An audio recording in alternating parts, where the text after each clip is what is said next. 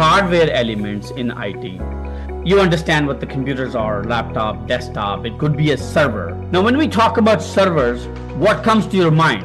What is a server? It's basically a, a powerful machine that provides resources. It's basically a machine that provides resources on the network. For example, we are connected through Zoom right now. So, me, you, and all of the people that use their services, they probably have bunch of servers. Servers are basically just like desktops, but imagine their specs way more than the desktop.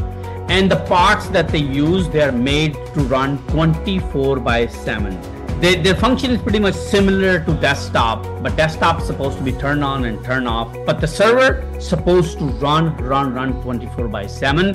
It's supposed to last you for years and years. So server basic definition is a server is an entity on the network, a, a computer that provides resources to other computers. Okay, that's a server. And then the second thing is the networking devices.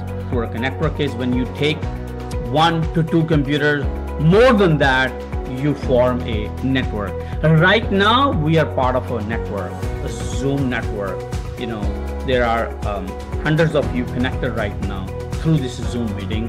And so that's because there are some networking devices such as router, switches, cables, network cards. Then there are some storage devices, hard drives that every computer has uh, and storage devices on the network, independent storage devices. Storage devices basically store data. They are like your hard drives, the flash drives.